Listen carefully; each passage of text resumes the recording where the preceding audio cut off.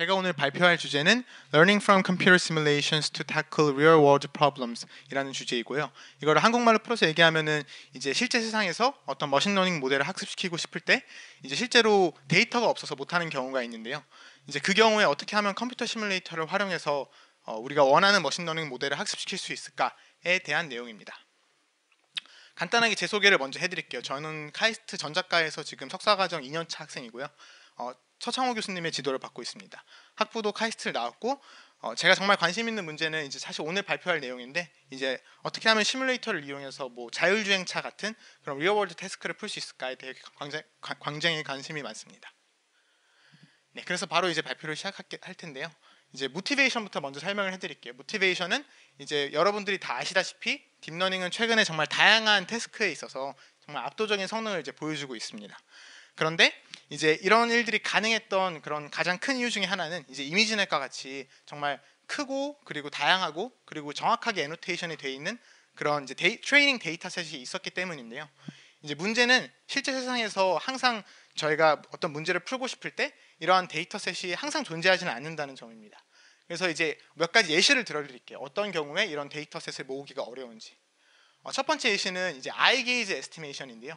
이제 eye gaze estimation을 잠깐 소개해 드리자면은 이런 식으로 이제 눈에 사진이 들어갔을 때 그 눈의 사진을 보고 이제 이 눈의 각도를 이제 맞추는 게 eye gaze estimation입니다. 그래서 이제 좌우 각도가 세타고 이제 위아래 각도가 파이인데요. 그 두 가지 각도를 맞추고 싶을 때 이제 필요한 dataset은 이런 눈 사진들이 필요할 거고요. 그에 해당하는 그 label들이 필요할 텐데 이제 사실 이 경우에서 데이터 자체는 이제 모으기가 쉬워요. 그냥 뭐 지나가는 사람 눈에 사진을 찍으면 되는데 이제 어려운 거는 정확하게 눈이 어디를 바라보고 있는지 예를 들어 이, 이 눈이 지금 뭐 위쪽으로 52도 왼쪽으로 32도 뭐 이쪽으로 이런 정확한 label을 얻는 거는 사람이 annotate 할 수는 없, 는 거기 때문에 이제 특별한 장치가 필요합니다. 그래서 이제 큰 dataset을 이제 eye gaze에 대해서 큰 dataset을 모으는 게 쉽지 않고요. 그리고 이제 두 번째 뭐 예시는요. 이제 뭐 사고 예측인데요 정확히 예를 들어 어떤 것이냐면은 이제 위와 같이 그 블랙박스 영상이 들어갔을 때 그 영상을 보고 아 이게 사고다 아니다라를 예측하는 게 이제 사고 predicting accident입니다. 근데 당연히 이런 경우에는 이제 앞에 것보다 더 심한 문제가 있는데 앞에 거는 이제 label만 모으기 어려웠다면 이런 경우에는 실제로 사고가 실제 세상에서 어, 자주 일어나지 일어나지 않는 일이기도 하고 또 동시에 일어난다고 해도 그 순간을 캡처해서 데이터를 만드는 거는 굉장히 cost가 많이 드는 일이기 때문에 이제 accident dataset은 실제 세상에서 거의 존재하지 않습니다.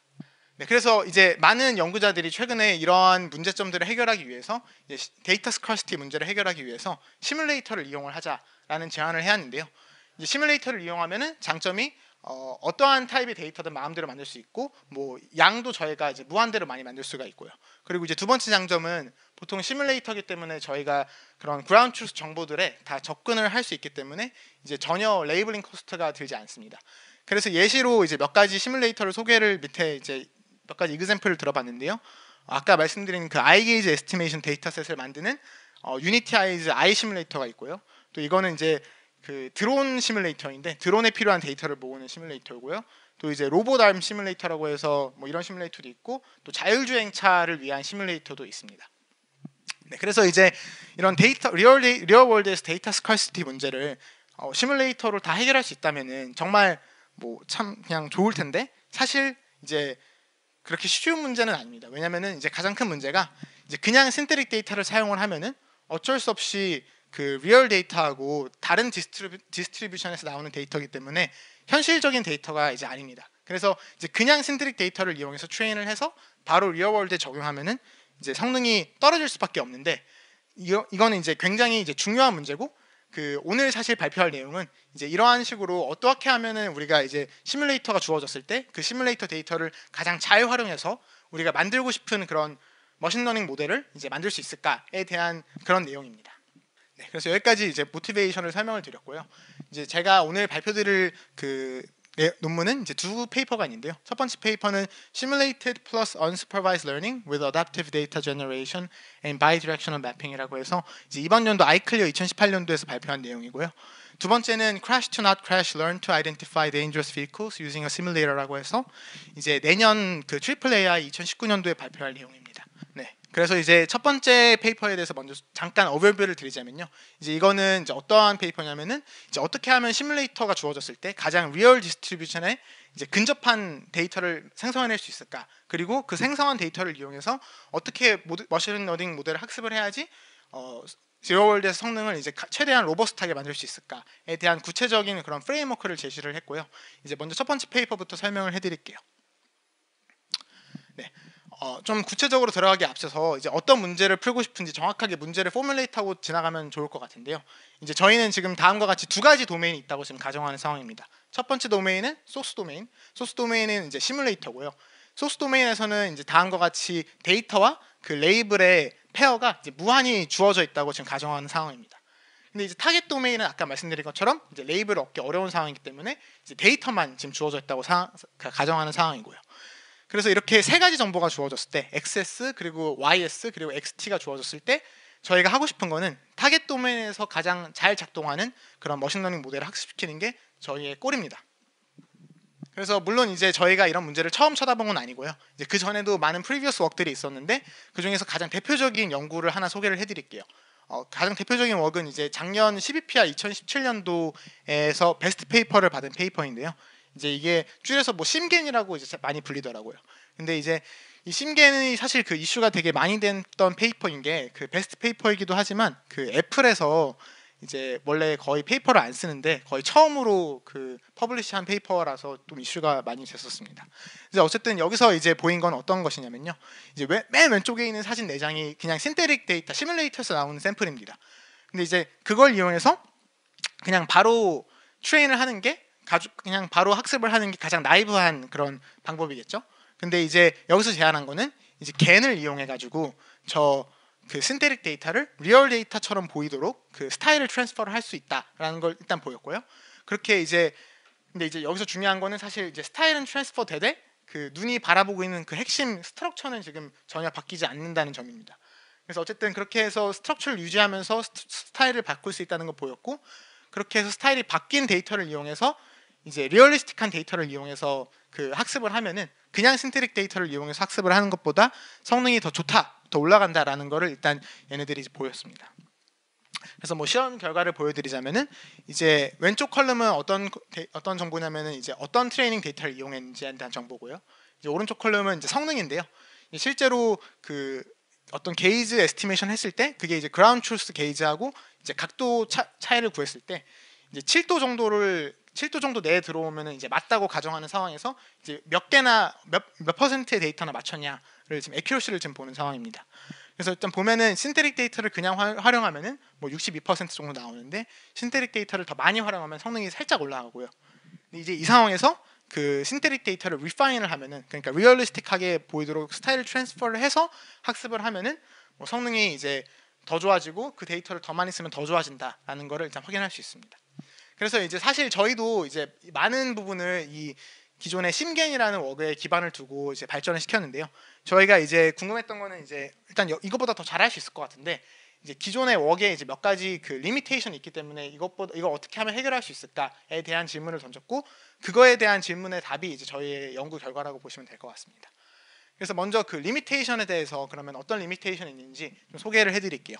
어, 우선 첫 번째 시, 그 이제 이 limitation은 사실 지금 그냥 잘 이해가 안 가실 수도 있는데 어차피 뒤에 좀 더 자세하게 설명을 해드릴 테니까 그냥 간략하게 이해만 하시면 좋을 것 같습니다. 첫 번째 limitation은 기존의 work에서는 전혀 어떻게 하면은 그 synthetic 레이블의 distribution을 specify 할 수 있는지 그런 언급이 전혀 없는데요. 이게 무슨 말이냐면요. 이제 보통 어떤 시뮬레이터가 주어졌을 때 이제 그 시뮬레이터에 input할 수 있는 그런 파이퍼 파라미터들이 되게 다양하게 있습니다. 그리고 그 어떤 hyperparameter를 입력하냐에 따라 그 시뮬레이터 시뮬레이터에서 나오는 데이터의 이제 distribution이 달라질 텐데 저희가 정할 수 있는 distribution 중에 하나가 레이블 distribution입니다. 근데 이게 무슨 말이냐면은 아, 그래서 결, 결국 저희가 하고 싶은 거는 이제 그 synthetic 데이터의 레이블 distribution하고 제일 좋은 거는 이제 그게 real 데이터의 레이블 distribution하고 matching이 되는 게 제일 좋겠죠. 그런데 그런 부분에 대해서 이제 전혀 그 시뮬레이터의 장점을 이제 기존의 work은 활용하고 있지 않다는 점에 착안했고 어, 저희는 이제 이걸 어떻게 하면 할 수 있을까라는 질문을 던졌습니다. 그리고 이제 두 번째 그 limitation은 뭐냐면요. 이제 사실 real 데이터하고 지금 synthetic 데이터 두 가지 도메인이 있는데 이 두 가지 도메인이 전혀 지금 대칭적이지 않은 상황입니다. 근데 이게 무슨 말이냐? 대칭적이지 않고 완전히 비대칭적인데 첫 번째로 synthetic 데이터는 일단 real 데이터에 비해서 일단 개수가 양이 훨씬 많습니다. 왜냐하면 저희가 무한히 많이 데이터를 generate 할 수 있으니까요. 그리고 두 번째로 이제 synthetic 데이터는 보통 사람이 정한 몇 가지 룰에 의해서 그뭐 이미지라든가 그런 데이터 샘플들이 만들어지기 때문에 이제 뭐 real world에서 상상할 수 없는 그런 다양한 노이즈들이 추가되는 것에 비해서 훨씬 샘플 자체가 이제 깨끗한데요. 이제 이러한 비대칭성을 이용해서 우리가 더 좋은 unsupervised domain adaptation 알고리즘을 만들 수 있을까라는 그런 질문을 던졌고 이제 바로 이 질문에 대한 대답을 해드리겠습니다. 그래서 이제 저희가 제안한 알고리즘은 다음과 같이 세 가지 단계로 이루어져 있어요. 첫 번째 단계는 adaptive adaptive data generation 단계이고 이제 여기서는 아까 말씀드린 것처럼 하고 싶은 게 그 synthetic 데이터의 레이블 distribution하고 real 데이터의 레이블 distribution을 이제 matching시키는 게 이제 이 첫 번째 단계의 목표입니다. 그리고 두 번째 단계에서는 어떤 걸 하냐면요. 이제 여기가 여기서부터가 이제 domain adaptation 단계인데 이제 그 CycleGAN을 이용해서 아, learn bidirectional mapping을 하는데 이제 여기서 하는 거는 이제 결국 CycleGAN을 이용해 가지고 그 두 가지 도메인, synthetic 도메인하고 real 도메인 간의 두 가지 도메인의 데이터가 있을 때 반대쪽 도메인으로 translate를 할 수 있는 그런 그 style transfer network를 이제 배우고요. 이제 여기서 뭐 마이너한 contribution 중에 하나가 이제 CycleGAN을 좀 더 잘 되도록 그 개선한 게 있습니다. 그리고 이제 마지막으로 세 번째 스텝이 backward translation인데요. 어, 어떤 real 데이터가 주어졌을 때 이거를 그러니까 테스트할 테스트하고 싶은 real 데이터가 주어졌을 때 이걸 synthetic처럼 보이도록 바꾸고 그거를 이제 그 인풋 네트워크에 넣어주는 게 저의 마지막 단계인데요. 이제 이렇게만 말하면은 뭐 잘 이해가 안 가실 것 같아서 애니메이션을 좀 준비를 해봤습니다. 네, 그래서 첫 번째 단계인 adaptive data generation 단계에서는 이제 하고 싶은 게 distribution 레이블 distribution을 matching시키고 싶은 거죠. 네, 여기서 하, 처음에 이제 시뮬레이터가 이렇게 주어집니다. 근데 시뮬레이터에서 synthetic data with label을 만들고요. 그리고 이제 여기서 하는 게 이제 이 그냥 naive하게 저렇게 만들어진 synthetic 데이터를 이용해서 어떤 네트워크를 학습을 시킵니다. 그리고 이제 저희는 정보가 하나 더 있죠. 아까 말씀드린 것처럼 하나 더 있는 정보가 이제 real 데이터인데요. 여기서는 이제 아까 synthetic 데이터하고 다르게 지금 레이블이 없습니다. 그래서 이제 사실 레이블을 그냥 있다면은 레이블이 있으면은 그냥 이제 레이블 distribution을 그냥 저희가 아는 거니까 그걸 이용해서 뭐 synthetic 데이터 뭐에 그, 그 distribution을 matching시킬 수 있을 텐데 이제 그걸 모르기 때문에 여기서 저희가 하는 일은 그 pseudo label을 달아줍니다. pseudo label이라 하면 그냥 간단히 말해서 이 predictor train된 predictor를 가지고 real world 그 샘플에 대해서 그냥 이제 naive한 estimation을 하는 건데요. 이 값들이 다 정확하진 않겠죠. 처음부터 바로 정확하진 않을 텐데 이제 적당히 어느 정도 real world 레이블의 이제 estimation 그러니까 정확하진 않은 estimation이라 생각하시면 될 것 같고 이제 이렇게 하면은 이제 정확하진 않지만 real world 레이블의 distribution을 알 수 있으니 다시 한번 시뮬레이터 파라미터를 업데이트를 합니다. 그래서 이 과정을 이제 iterative하게 반복하면서 시뮬레이터의 파라미 그 synthetic 데이터의 distribution을 이제 real 데이터의 distribution하고 좀 더 가깝게 만들었는데요.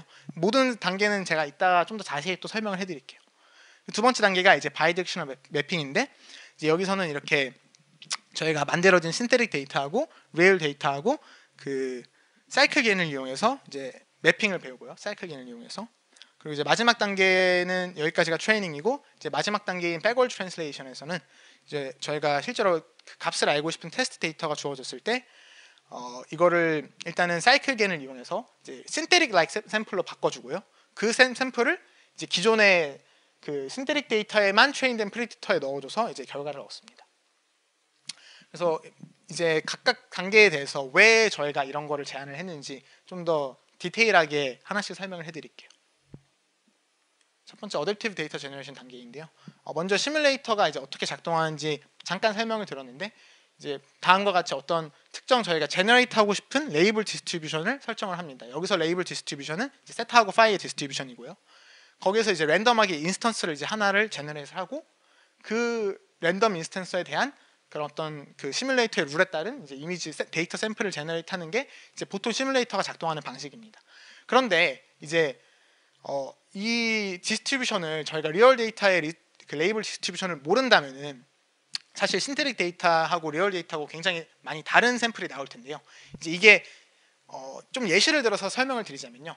실제로 저희가 지금 이 실험을 하기 위해서 이제 쓴 레이, 그 real dataset은 어떤 경우에서 모은 dataset이냐면은 이제 앞에 이렇게 노트북이 있을 때 그 노트북을 보는 사용자의 눈을 모은 사진입니다. 그래서 사실 이제 보통 거의 대부분의 눈들이 이제 아래를 보고 있고요.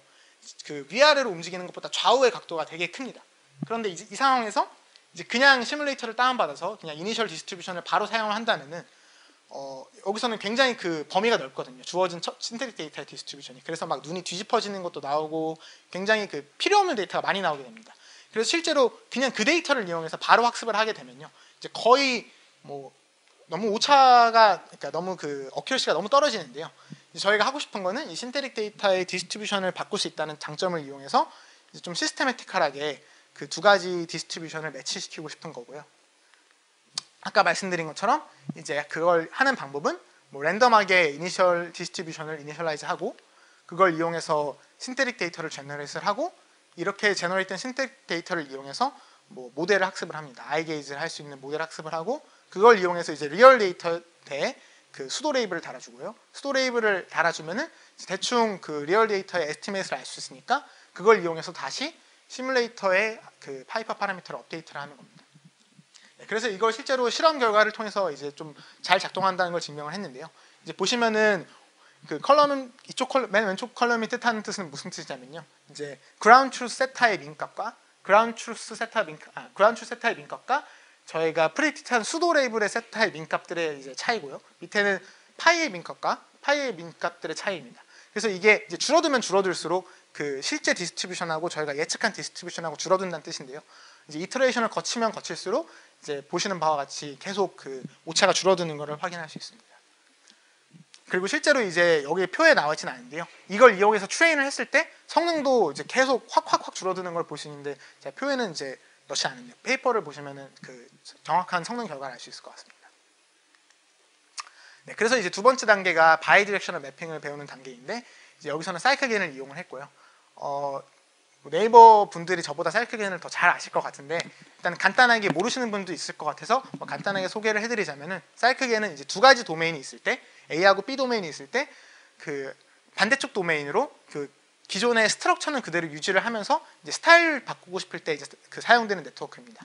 그래서 이제 CycleGAN은 그 기존의 structure를 유지시키기 위해서 cycle consistency라는 걸 사용을 하는데요. cycle consistency는 이제 간단하게 얘기해서 어, 출발 출발 그 이미지에서 이제 반대쪽 domain으로 갔다가 다시 돌아왔을 때 자기 자신이 되도록 그 regularization을 하는 term이고요. 그걸 이용해서 structure를 유지하되 이제 반대쪽 domain으로 style transfer를 가능케 하는 게 CycleGAN이고 CycleGAN의 장점은 이제 사실 그 가장 큰 장점은 그 데이터들이 pairwise로 주어지지 않더라도 그냥 이제 pairwise가 아니라 그냥 이제 마구잡이로 A 도메인은 이런 데이터가 있고 B domain 이런 데이터가 있다 이런 식으로 주어져도 그 학습을 할 수 있다는 게 가장 큰 장점입니다. 네, 근데 이제 그냥 CycleGAN을 사용하면은 살짝 문제가 발생하는데요. 이제 그 문제 지금 example들을 지금 왼쪽에 이제 좀 나타냈습니다. 그래서 보면은 이제 맨 왼쪽에 있는 사진들이 이제 starting input 이미지입니다. 저희가 하고 싶은 거는 저 저기 real real 이미지들인데요. 저걸 이제 synthetic 데이터처럼 보이도록 스타일을 바꾸고 싶고 그 바꾸 바꾸는 동시에 그 눈이 바라보는 각도는 바뀌면 안 됩니다. 그런데 이제 그냥 CycleGAN을 이용해서 학습을 했더니 문제가 뭐냐면은 이제 중간에 있는 이미지들이 그 스타일이 바뀌는 결과들인데요. 눈의 각도가 완전히 지금 그 바뀌는 걸 확인할 수 있습니다. 그런데 이제 웃긴 거는 또 보면은 CycleGAN이 저거를 저 structure를 유지하기 위해서 cycle consistency를 사용한다고 했는데 이제 맨 오른쪽에 있는 사진들이 실제로 갔다가 왔을 때 돌아온 그런 사진들인데 이제 보시면은 시작된 input 이미지하고 완전히 동일하는 걸 확인할 수 있습니다. 그래서 이제 그 cycle consistency가 완벽하게 minimize가 됐음에도 불구하고 그 전혀 그 제 역할을 못 하고 있다는 것을 저희는 일단 여기서 확인을 했고요.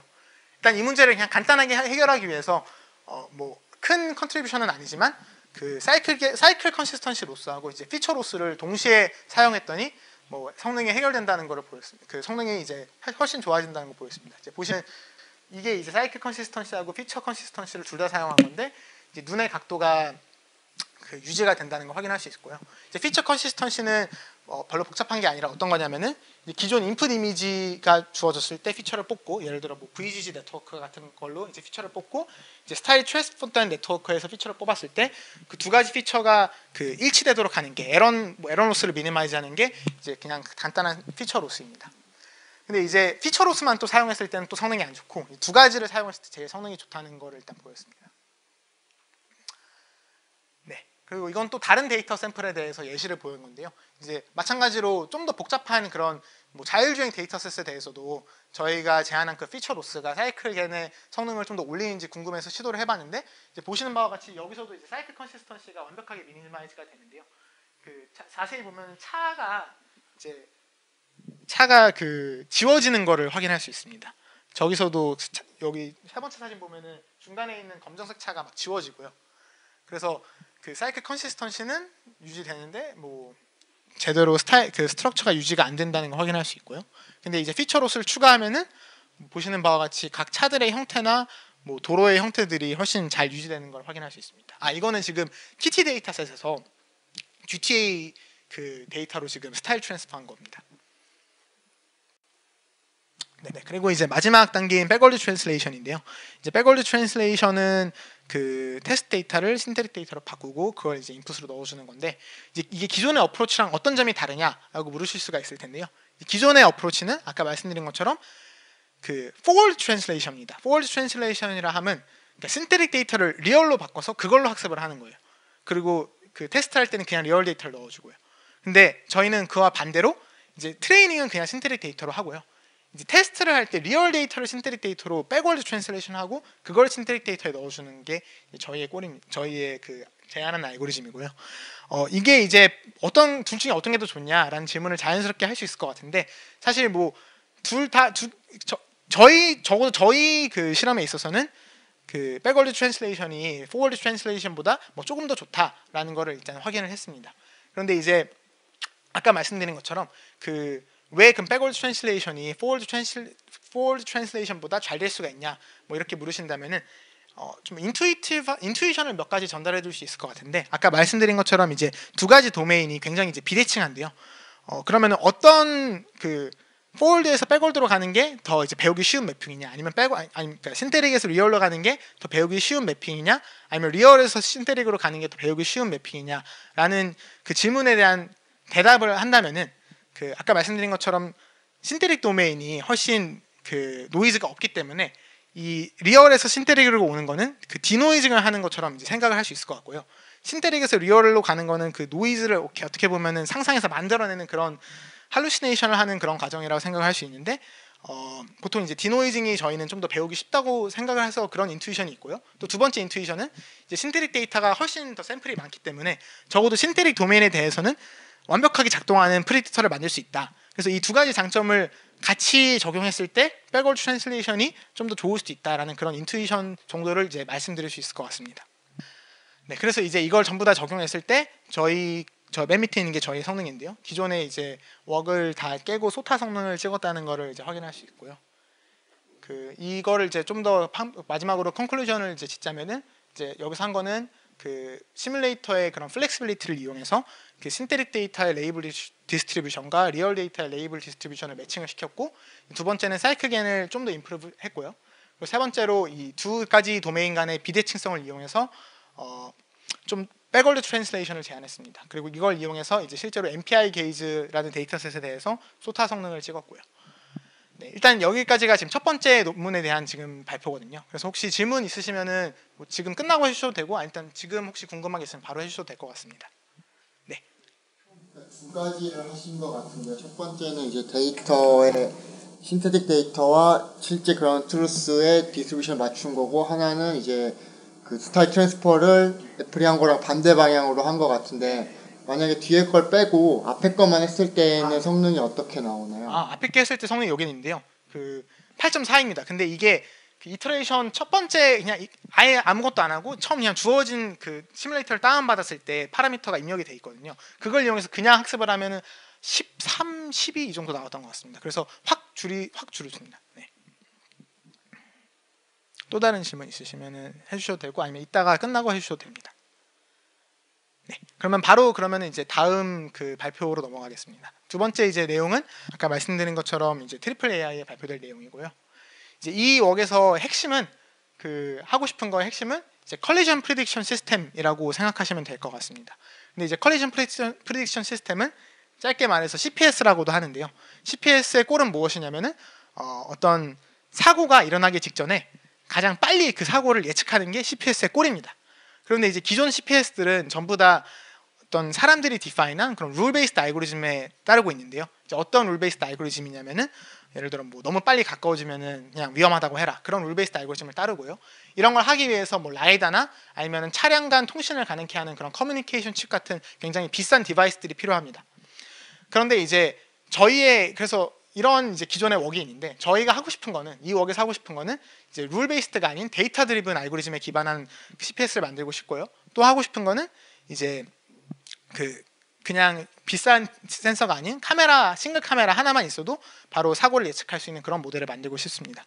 그래서 이제 예시를 들자면 이렇게 싱글 카메라를 통, 있을 때 뭐 딥러닝 모델을 통과하면은 이제 각 차별로 이제 어떤 차들이 위험한지 안 위험한지 collision probability를 내놓는 그런 모델을 만들고 싶은 게 저희의 goal이고요.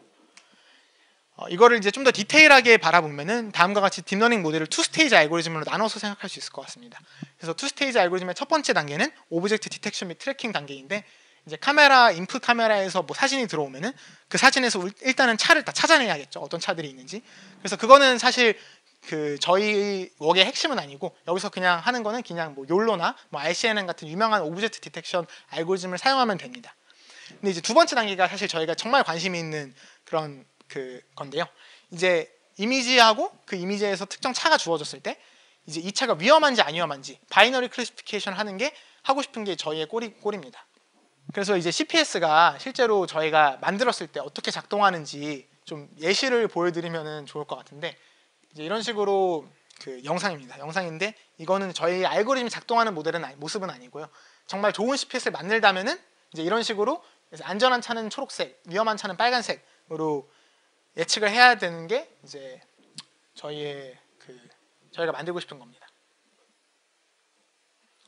지금 보면은 이제 부딪히는 차를 다 빨간색으로 좀 예측을 하는데 이제 이러한 모델을 만들고 싶은 게 이 웍의 목표에 있다는 걸 얘기 그 말씀드리기 위해서 일단 이 영상을 준비한 거고요.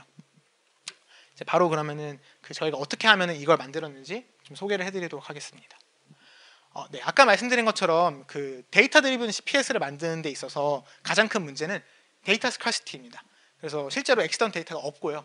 어, KITTI dataset이나 Cityscapes 같이 유명한 자율주행 dataset에는 전혀 accident data가 없고 뭐 저희가 직접 모으려고 해도 굉장히 그 비쌉니다. 그래서 이제 최근에 뭐 GTA나 CARLA 같은 driving 시뮬레이터들이 많이 사용되고 있는데 저희도 시뮬레이터를 이용해서 이 문제를 해결하고자 했고요. 했습니다. 네, 그러면 이제 자연스럽게 질문을 할 수 있는 게 어, 보통 시뮬레이터는 사실 자, 그 자동차 사고에 tailor돼서 나온 그런 시뮬레이터는 아니고 거의 보통 다 그냥 일반적으로 일반적인 상황을 위해서 나온 시뮬레이터예요. 그러면 어떻게 하면은 그 시뮬레이터를 이용해서 accident scene들을 generate 할 수 있을까? 라는 질문이 이제 자연스럽게 나올 수 있는데 저희는 이제 GTA라는 게임을 사용을 했고요. GTA를 해킹을 해가지고 각 그 플레이어 각 driver들의 behavior를 이제 modify를 했습니다. 그래서 이제 위험하게 운전을 하게 함으로써 그 사고를 만들었는데 실제로 이제 이거 어떻게 했냐면은 좀 디테일한 얘기긴 한데 이제 스크립트 5라고 뭐 GTA를 해킹할 수 있는 그런 스크립트가 있어요. 그래서 그걸 이용해서 다음과 같은 helper function들을 뭐 구현을 했는데 뭐 첫 번째 function은 start cruising이라고 해가지고 그냥 게임 내에서 그냥 일정한 속도로 자율주행을 하는 그런 function. 뭐 두 번째 function은 get nearby vehicle이라고 해서 주변에 있는 차들의 리스트를 return하는 function. 세 번째 function은 set vehicle out of control이라고 해서 말 그대로 그 안에 있는 사람을 죽여가지고 그 차, 차의 그 컨트롤을 이제 그 잃게 하는 겁니다. 마지막으로 이스마이 칼콜라이딩은 제가 제 차가 지금 부딪히고 있는지 아닌지 체크함으로써 사고가 났다라는 걸 알 수 있고요. 이런 function들을 이용해 가지고 이제 랜덤하게 주, 행을 하면서 주변에 있는 차를 하나씩 하나씩 죽입니다. 그래가지고 그럼 랜덤하게 이제 그 차들이 저한테 부딪힐 텐데 그때 그걸 이제 사고라고 define을 하고 그 장면을 이제 모았습니다. 네, 그래서 이제 그냥 GTA를 이용하면은 그 이런 식으로 normal driving scene밖에 나오지 않는데요. 이제 이거를 해킹을 해서 사람들의 behavior를 바꿔서 이제 아래가 저희가 모은 그 사고 dataset입니다. 이런 식으로 뭐 중앙선 침범 아니면 오른쪽에서 침범하는 거 아니면 갑자기 뭐 급정 거 이런 다양한 이제 데이터들이 있습니다. 네, 그래서 이제 모은 dataset에 대해서 overview를 드리자면은 뭐 3,600개의 이제 non-accident scene이 있고 뭐 한 7,700개 accident scene이 있습니다. 그리고 이제 각 scene들은 어떤 식으로 compose가 되어 있냐면요. 그 20개의 프레임으로 구성되어 있는데 이제 마지막 보통 accident scene 같은 경우 마지막 프레임이 이제 부딪히기 0.1초 전 사진입니다. 그리고 그 각 프레임마다 0.1초의 간격을 두고 이제 모았고요. 그리고 이제 이거에서 되게 중요한 것 중에 하나가 그 단순하게 이런 이미지하고 뭐 label pair만 모은 게 아니라 이제 각 차들의 여기 보이는 이 bounding box로가 쳐져 있는 모든 차들의 그런 meta information을 다 모았습니다. 그래서 이 지금 예를 들어 이 차에 해당하는 그 사진이 이건데요. 이 하늘색 그 차인데 이 차의 뭐 포지션 아니면 velocity 아니면 wheel angle, turn rate 이런 거를 이제 다 모았습니다. acceleration. 그리고 지금 이 dataset은 사실 지금 온라인에 지금 공개가 돼 있는 상황이거든요. 그래서 뭐 관심 있는 분들은 다운 받아서 뭐 사용하셔도 될것 될 것 같습니다. 그래서 이제 이런 여기까지가 지금 어떻게 하면은 금 시뮬레이터를 이용해서 데이터를 모았냐에 대한 얘기고요. 아까 말씀드린 것처럼 그냥 이 시뮬레이터를 이용해서 학습을 하면은 뭐 가장 나이브한 솔루션일 텐데 이제 충분히 리얼리스틱하지 않기 때문에 그냥 적용하면은 이제 좀 성능이 문제가 있을 수도 있어서 이제 어떻게 하면 이거를 좀 더 리얼리스틱하게 만들 수 있을까라는 질문을 이제 할 수 있습니다. 그래서 저희는 다음과 같이 두 가지 솔루션을 제안했는데 첫 번째는 이미지 피처에 대한 솔루션입니다. 근데 이거는 그냥 뭐 별로 복잡할 거 없이 아까 말씀드린 것처럼 첫, 첫 번째 그 제가 발표한 논문에 backward translation을 사용해서 style transfer를 했고요. 두 번째는 label adaptation인데 이게 두 번째 contribution이 좀 더 이제 중요한 얘기인데요. 이 부분은 좀 더 이따가 자세하게 해드리도록 하겠습니다. 그래서 먼저 그냥 feature adaptation을 간단하게 다시 요약을 하자면은 synthetic data가 synthetic train data가 있고 real test data가 있는데 이걸 그냥 저 synthetic train data를 이용해서 학습을 하면은 이제 도메인이 다르기 때문에 성능이 좀 떨어지는데 이제 이걸 이거를 이제 그냥 넣어주지 말고 real test data를 그 synthetic domain처럼 synthetic data처럼 보이게 그 스타일을 바꾼 뒤에 넣어주면은 어, 성능이 좀 더 좋아집니다. 그래서 이게 이제 backward translation을 그냥 요약한 거고요. 이제 이제 좀 더 두 번째 파트인 label adaptation에 대해서 설명을 해드리도록 하겠습니다. 근데 이제 label adaptation이 뭔지 감도 안 잡힐 수도 있고 이거를 왜 해야 되는지 아 이유를 모르실 것 같은데 먼저 왜 label adaptation을 해야 되는지 그 이유를 설명해 드릴게요. 그래서 핵심은 뭐 synthetic label이 이제 bias 됐다라는 건데 이제 예시 샘플 하나 보여드리자면은 이제 이런 식으로 지금 이게 이제 타임, 시간이 이제 사고에 가까워지면 가까워질수록 지금 네 오른쪽에 있는 사진입니다. 여기 이렇게 네, 이게 이제 하나의 사고 scene이고요. 이제 마지막 그 사진에서 부딪힙니다. 그런데 저희가 지금 어떻게 synthetic label을 generate를 했냐면 이제 그냥 마지막에 부딪히니까 이제 위험한 장면이다 해서 모든 모든 20가지 프레임에 그냥 이제 위험한 장면이다 해서 synthetic label을 1을 부여를 했습니다. 근데 사실 이렇게 하면 문제가 뭐냐면은 이제 이걸 확대해서 보면은 왼쪽에 있는 두 개의 사진은 전혀 지금 확대를 해서 보면은 위험의 그런 사인이 보이지 않거든요. 근데 오른쪽에는 확 딱 봐도 이제 wheel angle이 이제 저쪽으로 들어온다던가 아니면 딱 봐도 이거는 뭐 vehicle angle이 저쪽으로 오기 때문에 위험하다는 걸 알 수 있는데 저 왼쪽 두 개의 샘플에 대해서는 잘못된 레이블이 사실 달리게 됩니다. 그래서 저희가 desire 하는 레이블은 저쪽 왼쪽 두 개가 0, 여기가 이제 1인데요. 저희는 이제 이거를 해결하기 위해서 label adaptation method를 제안을 했습니다. 근데 이제 그 이제 어떻게 label adaptation을 했는지 좀 설명을 해드리자면요. 이제 vehicle path prediction이라는 그런 토픽 자체가 사실 머신러닝 그 계에서는 잘 모를 수도 있지만 그 intelligent transportation system 뭐 그러니까 자율주행 쪽 이쪽에서는 굉장히 많이 study되어 있는 그런 그런 분야입니다. 근데 이제 그 중에서 좀 대표적으로 유명한 그 vehicle prediction 모델이 이제 결국 그 차가 어떻게 움직일지를 예측하는 모델인데 이제 CTRA 모델이 굉장히 유명한 모델 중에 하나입니다. 그래서 CTRA 모델은 그 실제로 뭐 real world에서 어떤 차들이 어떻게 움직일지 예측을 했을 때 뭐 굉장히 좋은 성능을 달성을 하고요. 이걸 그 이, 이걸 이제 사용하기 위해서 필요한 정보는 이제 각 차들의 포지션, velocity, acceleration 그리고 turn rate 그래서 각 속도 어떻게 돌고 있는지 그런 정보가 필요합니다. 그래서 이제 이러한 internal 정보들이 저희는 다행스럽게도 시뮬레이터이기 때문에 모든 차들의 internal state를 다 액세스할 수 있는데요. 이제 이 두 가지 그 이걸 이 CTRA를 이용해서 각 차들의 이제 path를 predict를 합니다. 할 수 있습니다. 그래서 이제 저희가 propose하는 label adaptation은 첫 번째 단계가 이제 vehicle internal state를 액세스를 하고 그걸 이용해서 CTRA를 이용한 label adaptation을 하고 이제 마지막에 이제 refined label을 얻는데 좀 더 자세하게 설명을 해드리자면요. 이제 왼쪽 사진이 아까 마, 아까 보여드린 위, 안 위험해 보이는 사진이고 여기가 이제 오른쪽 사진 위험해 보이는 사진인데 이제 실제로 synthetic label은 다 111이라고 달리는 상황입니다. 그래서 이걸 어떻게 adaptation을 하냐? 첫 번째는 internal state를 retrieve를 해서 이제 어떻게 움직이고 있는지 벡터를 얻어내고 포지션을 얻어냅니다. 그리고 이제 그걸 이용 그리고 이제 CTRA를 이용해서 이 차들이 어떻게 움직일지 그 퓨처 패스를 이제 예측을 할 수가 있는데요. 이제 저런 식으로 예측을 하고 이제 실제로 그 시간마다 이렇게 어떻게 움직이는지 그려보면은 이제 부딪히지 않, 않습니다. CTRA 모델에 따르면. 그래서 이제 refined label은 이제 0으로 달리는 거고요. 이제 이 상황에서는 이제 CTRA 모델을 이용해서 path를 predict 했을 때 이런 식으로 부딪히니까 refined label은 1입니다. 그래서 이제 모든 샘플에 대해서 이렇게 label adaptation을 이용해서 그 기존의 레이블들을 다 바꿔줬습니다. 네, 그래서 이제 여기까지가 그 두 번째 발표의 methodology는 다 끝났고요. 지금부터는 이제 실험을 실험 결과를 좀 보여드릴게요. 그래서 이제 여기서 이 work에서 저희가 사실 하고 싶었던 key message는 그 real data에서 데이터를 얻기 힘들기 때문에 조그마한 real data를 사용하는 것보다 큰 synthetic data를 사용하는 게 훨씬 좋다라는 게 이제 큰 메시지인데 key message인데 real data를 사용했을 때 장점은 사실 이제 bias가 dataset bias가 전혀 없겠죠. 근데 이제 large synthetic data는 그 문제는 뭐냐면은 이제 dataset이 bias가 되, 됐는데 이 상황에서 우리가 이길 수 있냐?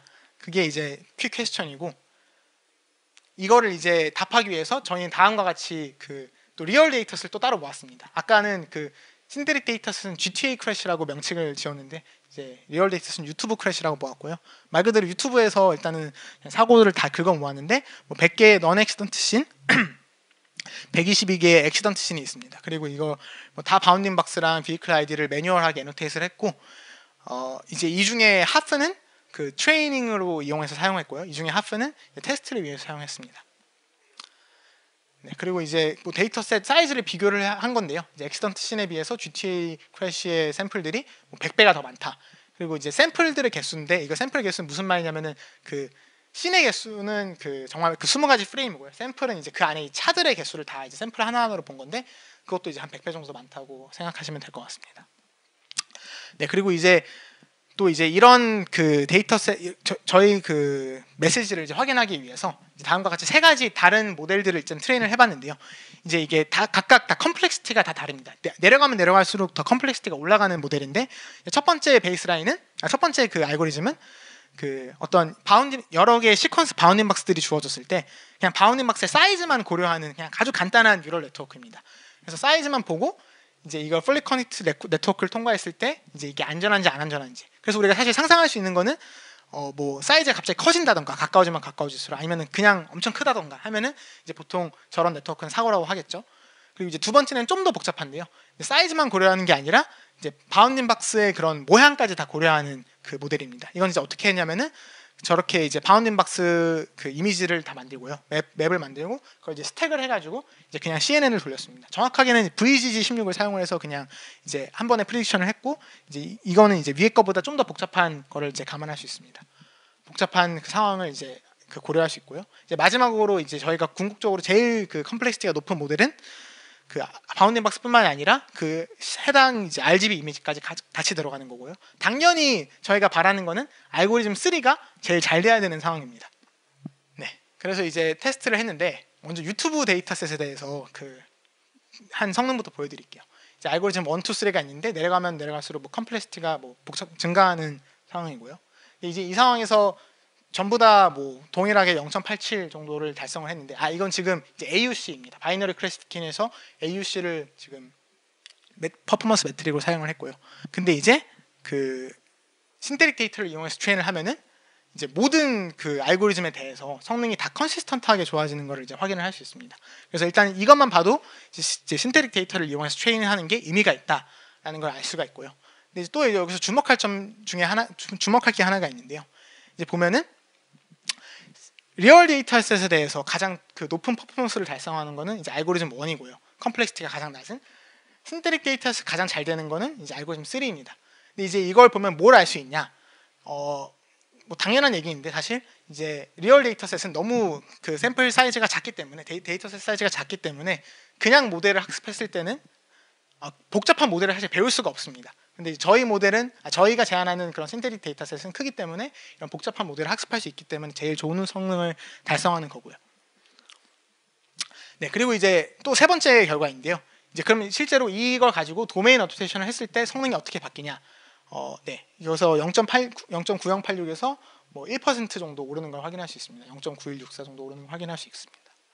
그래서 여기까지가 일단 저희가 제가 전달하고 싶었던 키 메시지는 다 전달했는데요. 좀 더 디테일하게 실제로 그러면 저희가 만든 알고리즘이 어떻게 작동하는지 좀 보면 좀 좋을 것 같은데 우선 이 표를 좀 보면 좋을 것 같습니다. 어, 이제 이 표는 어떤 표면이냐면요. x축은 일단 y축부터 설명해 드릴게요. y축은 miss detection rate인데 저의 알고리즘이 얼마나 많이 실수를 하는지에 대한 rate이고요. 이제 x축은 time to collision이라고 해가지고 그 사고에서 멀어지면 멀어질수록 time to collision이 커집니다. TTC라고도 하고요. 그래서 이제 사- 그 당연히 이제 TTC가 작으면은 이제 해당 부딪힐 차가 저희 차랑 가까울 거기 때문에 classification이 쉬울 거고 이제 먼 차들은 아 TTC가 큰 차들은 굉장히 이제 어렵겠죠. 그냥 뭐 bounding box만 보고는 사실 맞출 수가 거의 없는 상황입니다. 이런 경우에서는. 그래서 이제 결과를 보면은 뭐 이건 당연한 결과인데 이제 알고리즘 1 trained with real data가 이제 real dataset에서 가장 잘 되는 모델인데 이제 보시면은 다음과 같이 그 TTC가 커지면 커질수록 miss detection rate이 커지고요. 저희 저희가 train한 synthetic data가 synthetic data 성능을 이제 보여드리면은 이제 TTC가 큰 그 이 부분에서 18.5% 정도의 임프루먼트를 달성하는 것을 볼 수 있습니다.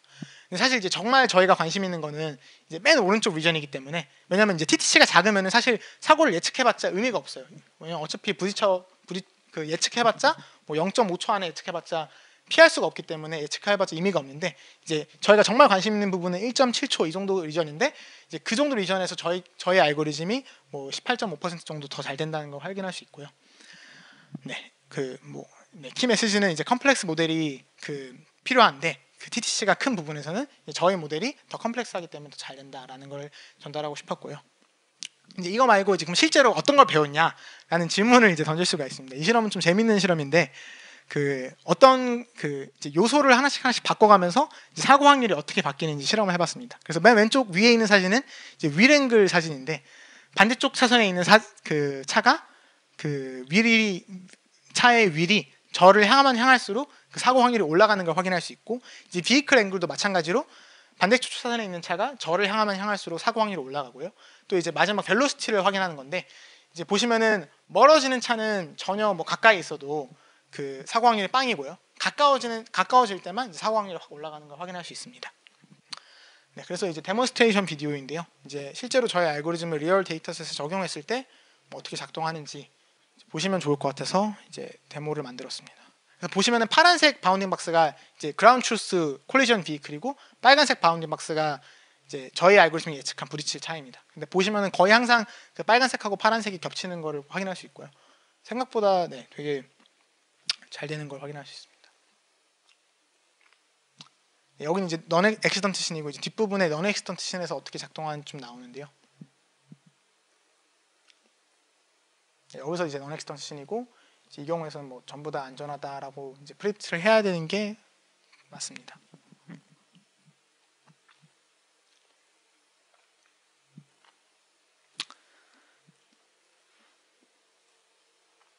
네. 음, 넘어가네. 네, 그래서 이제 두 번째 work도 다 그 발표를 마쳤는데요. 정리를 하자면은 저희는 그 data driven CPS를 만들기 위해서 어, custom synthetic data generator를 만들었고요. 이제 그거 위에다가 이제 성능을 좀 더 올리기 위해서 label adaptation method를 제안을 했고 이제 이거를 이용해서 이제 real data를 이용해서 train 한 것보다 성능이 더 좋다는 거를 확인을 했습니다. 그럼 이제 데이터 셋하고 데모 비디오도 다 이제 공개가 되어 있으니 어, 관심 있는 분들은 들어와서 한번 둘러보셔도 좋을 것 같습니다. 네, 여기까지가 이제 제 발표고요. 혹시 질문 있으신가요?